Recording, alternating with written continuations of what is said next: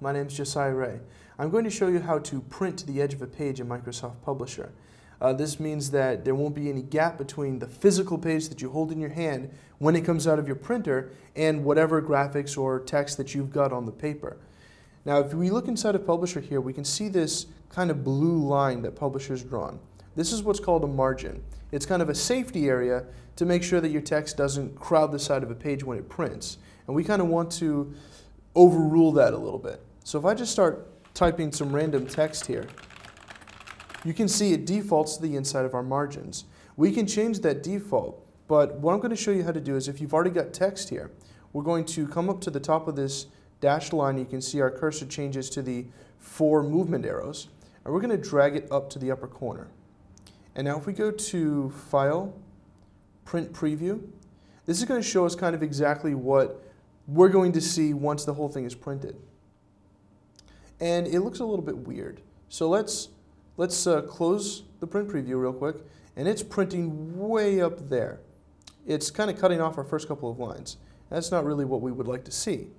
Let's see if we can fix that by going to margins. So here underneath publication options, I'm going to go to change page size. And we can see the margin guides are all the way up here. Now it's got kind of the preset values in there. I'm going to change the top and the left of the document to zero so that it moves that blue line up to where our text is. So zero inches on both of those. And we're going to say OK.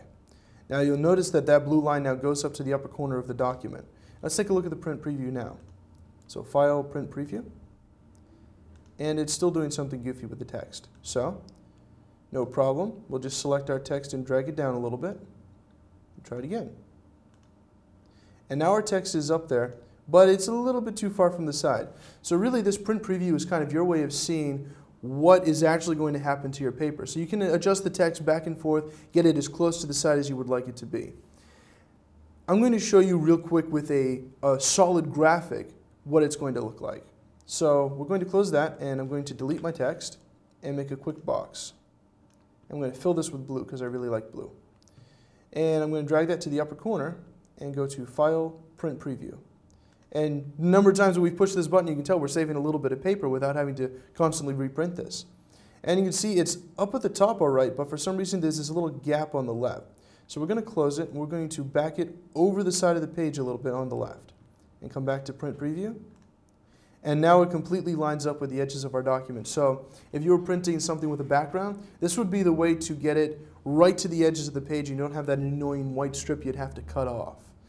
Um, side note, you may lose a little bit of your graphic on the edges, but that's all right. Kind of bear that in mind when you're creating your backgrounds and just scale them up and over the sides of the document a little bit. I hope you've enjoyed this video on how to print right to the sides of a page in Microsoft Publisher. I'm Josiah Rea.